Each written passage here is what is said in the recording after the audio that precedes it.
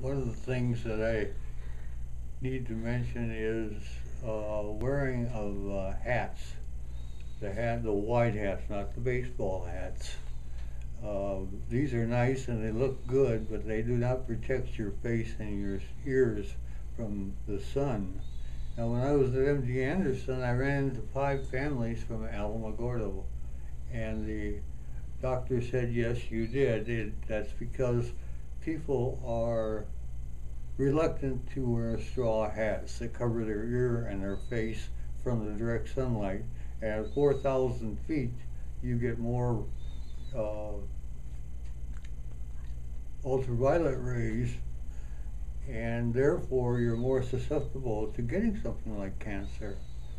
So I wear this when I would drive my car, but when I was outside working, I have a straw hat with a lot big brim on it.